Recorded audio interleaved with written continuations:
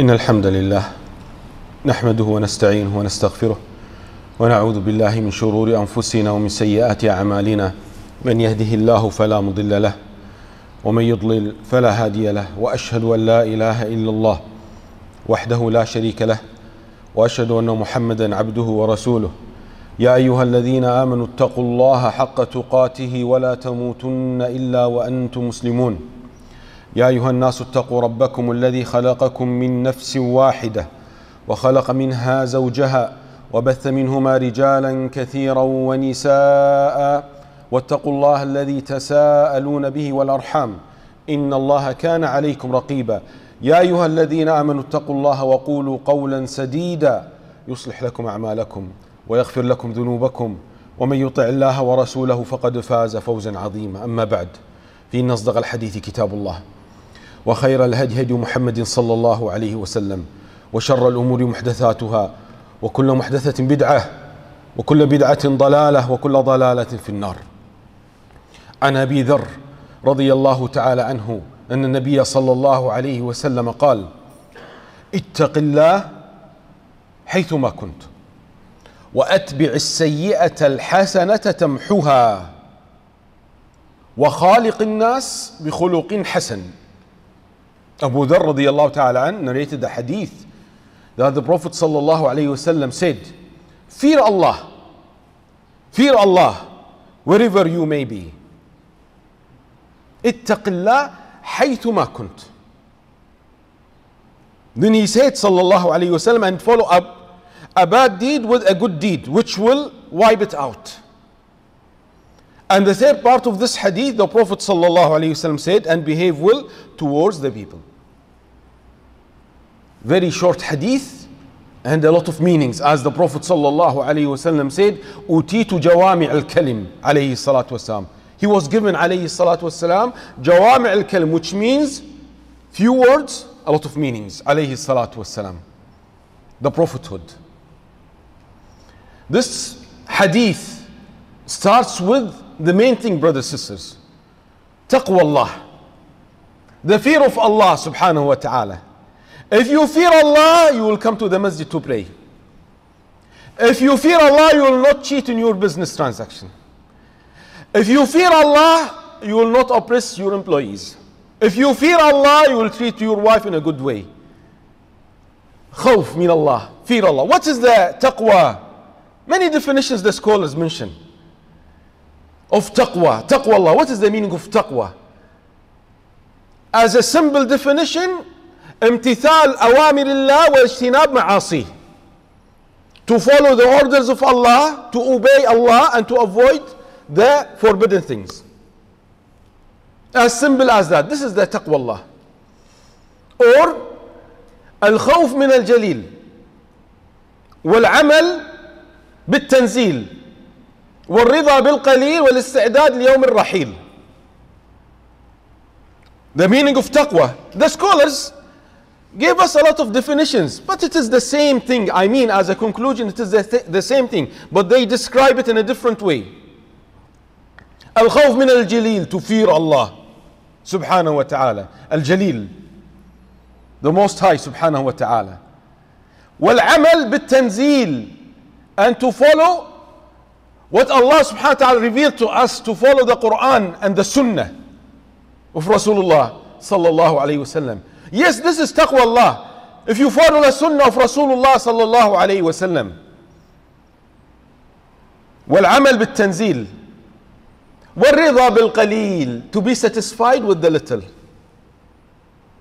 not to strive and to work hard achieving more and more gold silver dunya no, to be satisfied with a little, which can give you, which can give you, as the Prophet sallallahu alaihi wasallam, بحسب ابن آدم لقيمات يقمن صلبة. It is sufficient for the son of Adam.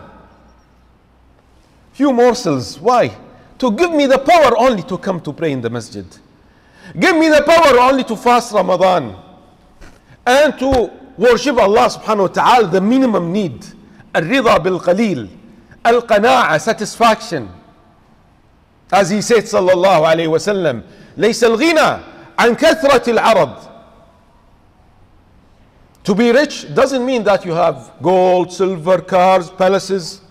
ولكن الغنى غنى النفس the real richness which is inside here inside your heart you are rich because there are many people like Qarun how much money he had Allah gave him a lot of money but he was not satisfied subhanallah why because he doesn't have the real richness غنى النفس when your soul is rich this is the main thing brothers والرضا بالقليل then he said then he said in the definition والاستعداد ليوم الرحيل to prepare for what for the death اليوم الرحيل this journey the death the death is your start yes it is our end but it is the real start when you start the hereafter this life ends after 50 60 70 years more or less you will die this is your end and this dunya but the death is the start of the hereafter the last day والاستعداد ليوم الرحيل تقوى الله this is the fear of Allah how many times when you read in the Quran you will find taqwa Allah subhanahu wa ta'ala and Allah subhanahu wa ta'ala told us the importance of taqwa Allah واتقوا الله لعلكم تفلحون you may succeed if you fear Allah. Another ayah, Allah subhanahu wa ta'ala, وَاتَّقُوا اللَّهَ وَاعْلَمُوا أَنَّ اللَّهَ مَعَ الْمُتَّقِينَ Fear Allah and Allah will be with those who are pious and righteous, muttaqi. واتقوا الله واعلموا أن الله شديد شديد العقاب واعلموا أن الله شديد العقاب Fear Allah and know that Allah has a severe torment. واتقوا الله واعلموا انكم ملاقوه fear Allah and know that you are meeting Allah wa ta'ala يا ايها الذين امنوا اتقوا الله وذروا ما بقي من الربا fear Allah wa ta'ala and leave riba avoid riba Allah wa ta'ala mentioned also واتقوا الله ويعلمكم الله الله اكبر واتقوا الله ويعلمكم الله When you fear Allah wa ta'ala, when you have taqwa, Allah will increase you in knowledge. Allah will increase you in knowledge. How? This is the blessing of taqwa Allah wa ta'ala. Don't think that if you read a lot, you will have knowledge. Yes, you will have knowledge, but the point is, where is the blessing of this knowledge? Allah subhanahu wa ta'ala also said, وَلِلَّهِ مَا فِي السَّمَاوَاتِ وَمَا فِي الْأَرْضِ ولقد وصينا الذين اوتوا الكتاب من قبلكم واياكم ان اتقوا الله سبحانه وتعالى and to Allah belongs whatever is in the heavens and the, whatever is on the earth and we have instructed those who were given the scripture before you and yourselves to fear Allah so this is the word of Allah subhanahu wa ta'ala to the ummah of Muhammad sallallahu alayhi wasallam and the nation of Musa wa Isa wa Nuh wa Hud wa Lut all the nations to fear Allah subhanahu wa ta'ala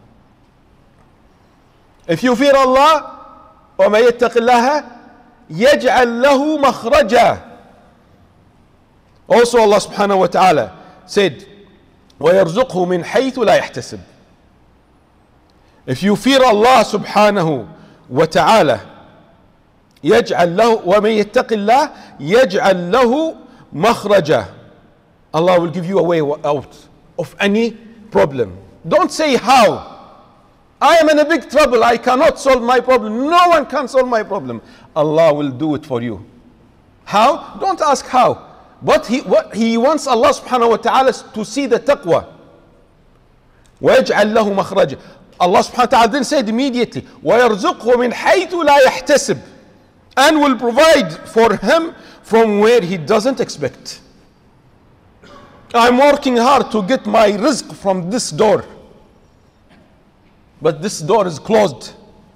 And Allah will open for you five, six doors from the other side. We don't expect this door, these doors. With what we need, we need to fear Allah subhanahu wa ta'ala. The same surah. وَمَن يَتَّقِ اللَّهَ يَجْعَلْ لَهُ مِنْ أَمْرِهِ يُسْرًا In the same surah. ومن يتق الله يجعل له من أمره يسرا and those who fear Allah subhanahu wa ta'ala Allah will give them ease in their things. Do you know, brothers and sisters, these ayat, in which surah? وما يتق الله يجعل له مخرجا ويرزقه من حيث لا يحتسب وما يتق الله يجعل له من امره يسرا These ayat in Surah Al-Talaq. In Surah Al-Talaq, we have one chapter, the divorce. Surah Al-Talaq. We need to realize this importance of taqwa Allah. Allah mentioned al-makhraj. Allah will give you way out of, uh, from any difficulty. Allah will make the things easy for you. Allah will provide you the sustenance from unexpected places. Allah mentioned these ayat in Surah Al-Talaq. When He is talking about the divorce. Subhanallah. When you are very depressed, very anxious, Allah told you these ayat. So this is about the taqwa. And if you speak about the taqwa, you find maybe more than 150 ayat about the taqwa, the word taqwa, and the derivatives of taqwa. Then he said, sallallahu alayhi wasallam, وَأَتْبِعِ السَّيِّئَةَ الْحَسَنَةَ تَمْحُهَا After doing the sin, immediately do a good deed. We need to remove or to wipe, to erase our sins. And this is very, yani, this is a virtue in Islam a great virtue that we can erase our sins. Imagine if we cannot erase our sins. If we cannot wipe out our sins, what will happen? We'll be in a big trouble. But Allah subhanahu wa ta'ala gave us many ways to remove our sins. One of them, وَأَتْبِعِ السَّيِّئَةَ الْحَسَنَةَ تَمْحُوهَا Immediately, follow your sin with a good deed. والذين إذا فعلوا فاحشة أو ظلموا أنفسهم ذكروا الله Allah subhanahu wa ta'ala says in the Quran, and those who when they commit an immorality or wrong themselves, remember Allah and seek forgiveness for their sins immediately. Astaghfirullah. La ilaha illallah. Subhanallah. They give charity. They fast. They pray. Immediately after the sin. Don't give any chance for the shaitan to continue the sin. The shaitan will tell you, khalas, you are a sinner. No need for your repentance. Continue enjoying this life. And your hereafter will be a hell. أعوذ بالله immediately you should make استغفار after any sin. أقول ما تسمعون واستغفر الله لي ولكم.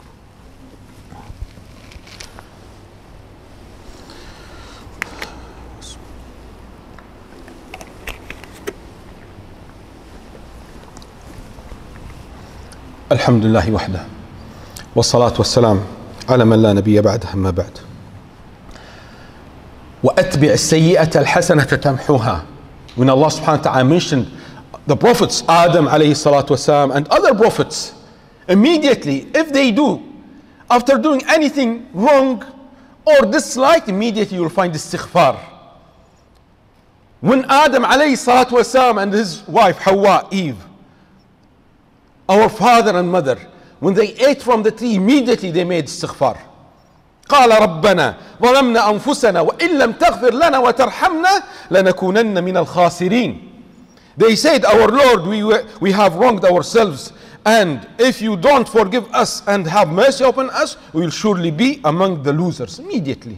When Nuh alayhi salatu wasalam asked his Lord subhanahu wa ta'ala about his son who was a disbeliever, immediately he said Nuh alayhi salatu wasalam قال ربي إني أعوذ بك أن أسألك ما ليس لي به علم وإلا تغفر لي وترحمني أكن من الخاسرين Nuh said, My Lord, I seek refuge in you from asking that of which I have no knowledge, and unless you forgive me and have mercy upon me, I will be among the losers. Immediately, tawbah, repentance. Don't think we are better than Nuh alayhi salatu wasalam. We are maskeen, wallahi.